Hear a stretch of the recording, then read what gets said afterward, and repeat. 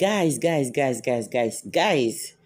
Now don't hear the latest one. Popular Nigerian singers. Hmm? The gospel one, no. Mercy Chinwo and Minister GUC have caused a stir on social media oh, as they unfollow each other on their social media handle. What caused it? So now welcome back.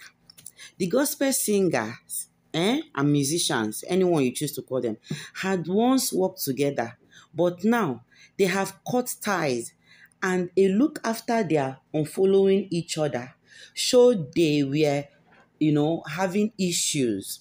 Though they have not come out to tell us what the really the main issue is, but it showed they were no longer by uh, they are no longer friends because they unfollowed each other. It was crystal clear they unfollowed each other on their social media handles.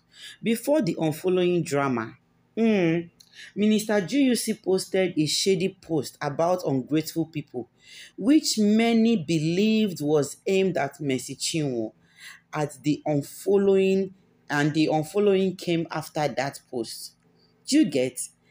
The, the, the, the minister, that's the GUC minister, has been putting up posts about their breakups and also said, you know, do not expect much from people, especially ungrateful people.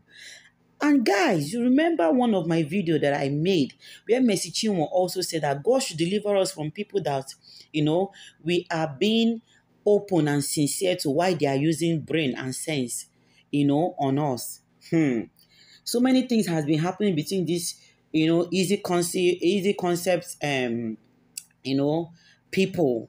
He's he's he the people EeZee Concept signed the record label for like um GUC Mercy Chinwo uh, what's her own the other one name uh, Chiamaka what's her name? The popular uh, one.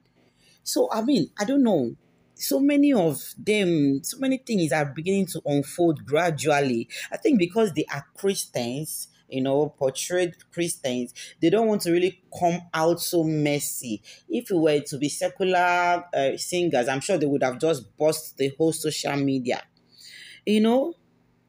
So all this is getting clearer before this Kasala boss, both gospel singers were formally signed to the same record label, which happens to be EeZee Conceptz.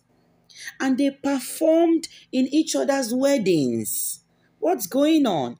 Well, their fans and others have reacted to the unexpected development on social media.